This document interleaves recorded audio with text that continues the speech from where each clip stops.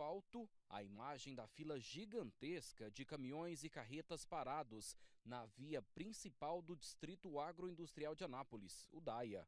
Os veículos estão carregados e aguardam na fila para chegar numa indústria processadora de soja instalada no complexo. O caminhão do seu Célio carrega 14 toneladas do grão. Ele saiu de Itaberaí e chegou ao complexo por volta das 7 da noite de quarta-feira. Está correndo risco, né? E aqui nós não tem, não tem conforto, não tem nada aqui. Segurança? Não tem segurança, não tem um banheiro, não tem, não tem água, não tem nada.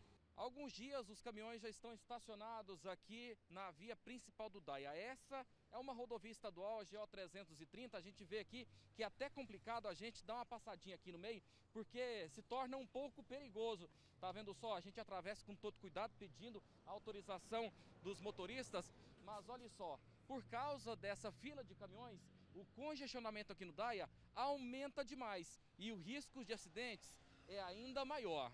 O ano passado teve um acidente com morte e corre o risco até de gerar mais, mais acidente, né? A empresa processadora de soja informou que a fila de caminhões carregados aconteceu por conta do período de safra de grãos e que as filas nesse período acontecem devido à alta demanda. Os motoristas reclamam da falta de estrutura e segurança não deu água, não deu comida, não procurou saber se a gente estava bem, se a gente não estava, não põe um aqui para sinalizar, não pôs uma sinalização na rodovia, a fila se estende aí mais um quilômetro, um quilômetro e meio para frente.